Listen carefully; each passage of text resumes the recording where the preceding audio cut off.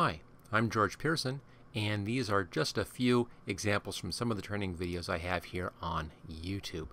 Now, when you're working with the training, following along the training, if you want to get the materials I used in the training, just go to the description down below and click on the link that's at the top of the description, and this will take you to a page where you can download the materials. Please subscribe, click the like button, and of course, always share on Facebook, Twitter, or wherever. I really appreciate that.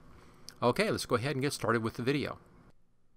In this video, we'll be doing this Christmas card here where you can place a picture in there for baby's first Christmas or the name first Christmas or change it around to have something else, a pet in here possibly, whatever you like. A little, little frame for a picture is what we're doing. And this is made up of three pictures. Let me just bring up our photo bin down here. First picture is of the child right there. Second picture is our frame. And the third picture is just a snapshot I took off of my Christmas tree several years ago. And we did a little bit of work on that to make it look better. So there we go. There's the basic look. Okay, let's go ahead and start this project. I'm going to close that one. And then we'll start with a brand new file here. File new, blank file and I'll set this at the default Photoshop Elements size 6 by 4 300 resolution and choose OK there we go. I now take my original image here. I'll just drag this in just like that. And so it's not quite the right size so I need to resize this a little bit. I'll just pull it into the corners. There we go. And we'll need to extend this just a bit to make it fit, but I, will stretch that after we take care of the Santa down here. So we're going to be removing the Santa. It's actually the hardest part of the whole process is taking Santa out of this and putting him over here. We'll then stretch the background picture, get rid of the Santa space that was left behind, put in our frame and so forth. All right, start off by just making a copy of this layer and then I'll hide that original just in case I need to go back and make any fixes. I'm just going to call this one original. There we are. Just double click on that and make it a name. Okay, let's now go to this layer and we'll take out the Santa out of this layer. I'm just going to dock that right there and let's zoom in a little bit on Santa. And all it does is pretty straightforward, pretty easy. Let's go up here and grab our lasso tools and I'll grab the polygonal lasso tool, my personal favorite. And I'm just going to go around the edge here of Santa and of course up the edge of this cord here and down. And I'll zoom in one more notch, make this easy to do. And I'll start down here. And I'll do a little bit of this first so you can see what I'm doing. I'll then pause the video, finish off the selection off screen or off camera, and then I'll bring it back up again as soon as that's done so you don't have to watch me do the whole thing.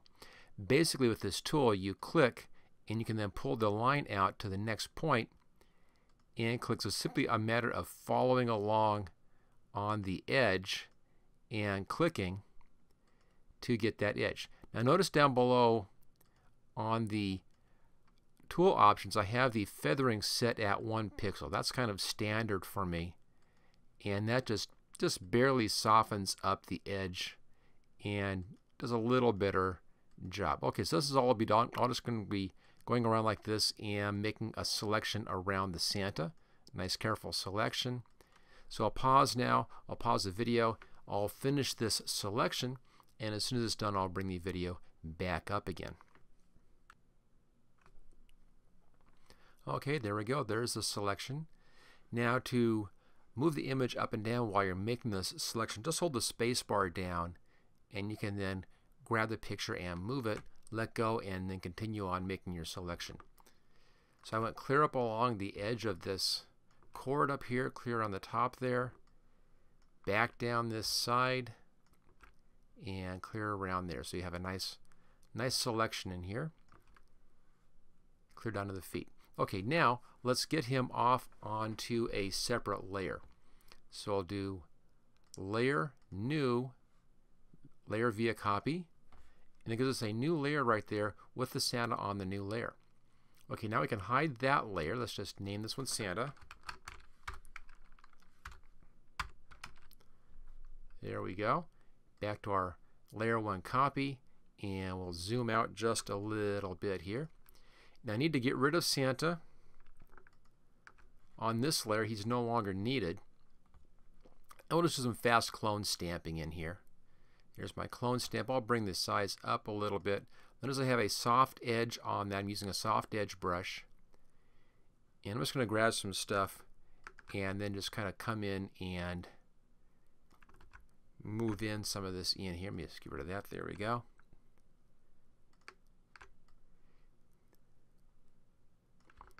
Luckily with this kind of a, a tree look, you don't need to be that careful. It's going to pretty well disguise itself unless you do anything that's just obviously a duplication. Use the Alt key to choose your clone from spot and then move over and clone in. And want to just get rid of that Santa just like that. Okay, Santa's now gone. Let's get rid of the cord in here. That's pretty easy to do. There we go. All right, that's all nice and cleaned up. Okay, now this layer, as you can see here, of course, is too skinny. So I'll grab the side here and I'll just pull this over a bit. Don't worry about that. That's going to be in behind our picture. That doesn't matter. And choose OK. So there's our resized image. And then bring our Santa back on top. We now can take the Santa, go to the Santa layer here. You can then move them over here. So we can now position Santa anywhere we want him. So it gives us some nice flexibility in here on our design. He's kind of separate now from the background. And just put them right there for right now. That should be pretty good. Okay, now the green in here is not that exciting. I want to bring the greens up and I'll bring the Santa values up as well. Let's do that with adjustment layers. So go up here to Layer, New Adjustment Layer, Hue Saturation, and where it says Use Previous Layer to create clipping mask, check that and choose OK. What that does is it links that into the layer just underneath. In this case, this is going to be acting just on the green layer. And I'll pull the saturation up a bit like that and just make those greens a lot brighter. There we go. So kind of freshen the tree up there. That looks good. I'm doing 54, but you know whatever looks good visually for you, that's fine. Close that out. Same thing for Santa, but on a separate layer because he probably has a slightly different adjustment. So layer, new adjustment layer, hue saturation. Again, make sure that, that checkbox is checked. Choose OK, and same thing, I'll bring the saturation up. Don't go too far because it gets you know neon glow happening in there, but enough just to brighten his suit up. There we go. Looks like about 30 is about right. 30, 32, I think. 30 looks nice. I'm just going to type in 30 to get it exact. Okay, Santa looks good. We'll close that down. So they did take different settings. The background and Santa took different settings. Okay, the background's done. We now can bring in the picture of our kid. We want them basically on top of or in front of this ornament right here. So go to our photo bin. I'll grab this picture here. Go to the background, just drag him on top. And close that out. I'm done with that. So here he is. And that's too big. So need to bring his size down. Just grab the corner here and pull him in like that and oh about like that looks pretty good we can always resize him later but it'll be about about that size I think I'll choose OK we'll readjust once we get the next layer in so back to the photo bin and that's this frame here drag that on top and close that now it's too big obviously so let's just find the corner. There it is, or you can see it better over here. Just pull that in. And I want it going off the top and off the bottom a little bit. Somewhere around in here looks pretty good. Maybe showing just a little bit of that edge over there. And that's nice. And the kid's looking pretty good. That's pretty close. I want him up a bit higher so his hat's cut off. I want to see some of the outfit down here. That's nice. Okay, now we have this this kid in here and we have that picture showing in behind. You see that right down there. That's kind of a problem, and it's showing up here. So I want to take this rectangular picture and put it into this circular area, circular frame. Easy to do. Go up to our layer 2. This is our frame. I'm going to name this one frame. And I'll stop calling him. I'll call him child here. There you go. A little more polite. So go to the frame layer, go to the magic wand, and make sure that contiguous is selected. That means touching. And then click in the middle area of the frame, which is in here. And that gives me this selection right there that matches the middle of the frame. Let's come now down to the child level right here. And then click on this button here. This is the add layer mask. What that does is it makes a layer mask, circular layer mask, which matches the circle of that and clips off that background. If I hide the frame, you can see now that he's in a circle. There we go. Actually right on top of that ornament. That's kind of fun. So there it is right inside that circle. And it's an exact match. If you want to be a little bit nicer about this, I'll make this a little bit larger here. We'll expand that just a little bit so that he overlaps on the edge. Now I can do that with a fun little filter. Make sure that you're on the layer mask side. Look for the light blue outline right there. There you go.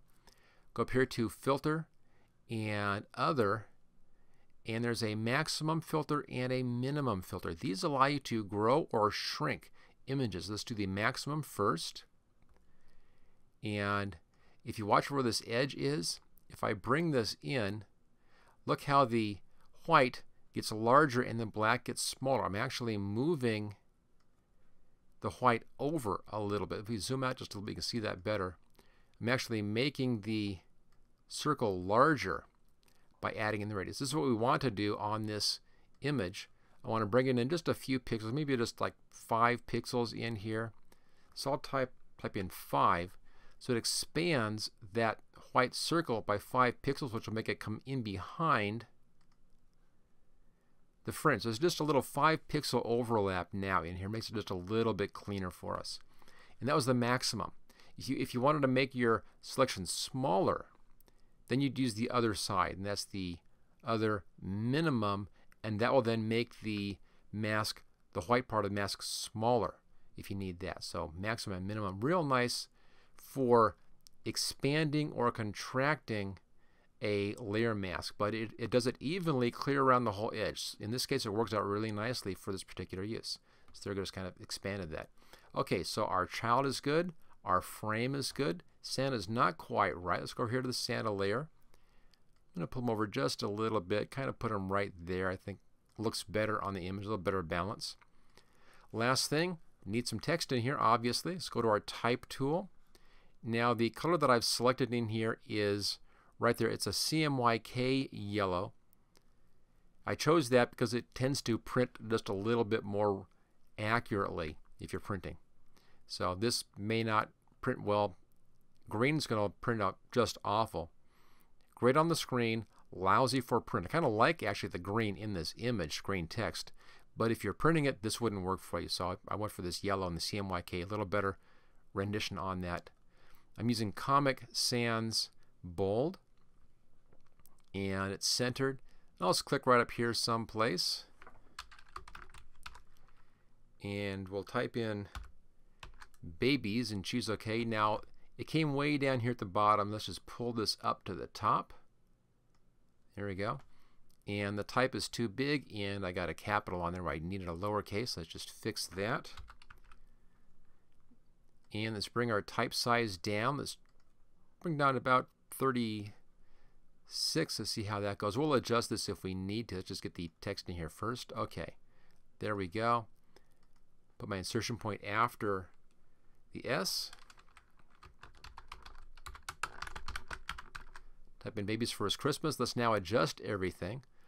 So select all the text. I'll make this left justified and letting down here it says 72 let's change this to auto and see how it looks it's a little a little far out I'm going to go to 36 to match the size of the text and that looks pretty good so here's our baby's first Christmas right in here someplace I think that's kind of nice just like that and now I want, a drop shadow on this so I can see the lettering over here on top of the frame so we'll do a layer style for that go up to layer and layer style style settings. We'll do a drop shadow. There we go. I'm going to bring the opacity all the way to the top and we'll adjust our distance right there. You can kind of see it showing in right down there. I'm going to move the lighting angle over to the left a little bit here, about 122. I kind of like 122. So that kind of puts the lighting up there. Get a little drop shadow in behind. That looks good. It's a little different from where I had it on my original sample. I think this is a little nicer looking. And I'll put it right about there, I think. And let's tweak the Santa just a little bit down. Right about there. And there we go. Little Christmas card in here where you can insert any image you want on this. We're using for Baby's First Christmas, but whatever you want, your favorite pet, your favorite person, whatever you want to do, just drop it in like that. And there we go. So it's kind of a uh, two for one here. Little little masking in there. We put a square picture or rectangular picture into a circular frame. Kind of fun. Made some adjustments on the values of our tree behind on the Santa. And of course some text. Last thing you do, as always, you take a look at this and see, are you really happy with this? I think I can go a little bit brighter on that green back there. So here's our layer copy. Go to the layer right above that. That's the control for that. Double click on the icon. That brings it back up again. I'll just bring the saturation up just a little more. Not much. Just because this is so bright in here, I can get a little more saturation on that. I think Santa is about as far as we can push him. But there we go. Let's close that down. And there it is. Let me just expand this a little bit. I'll float this image up here. And we'll pull that down and zoom in a little bit. And there we go. Bringing up the size. May want to try to sharpen up Santa just a touch. Looks like he's a little bit soft focus. Let's go here to the Santa layer. And let's do a filter and let's just actually let's go over here to enhance and let's do adjust sharpness on this little adjust sharpness right there and I'll back out it so we can find our Santa there he is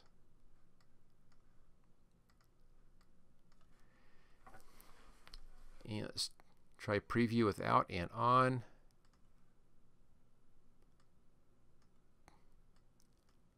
a little more sharpness.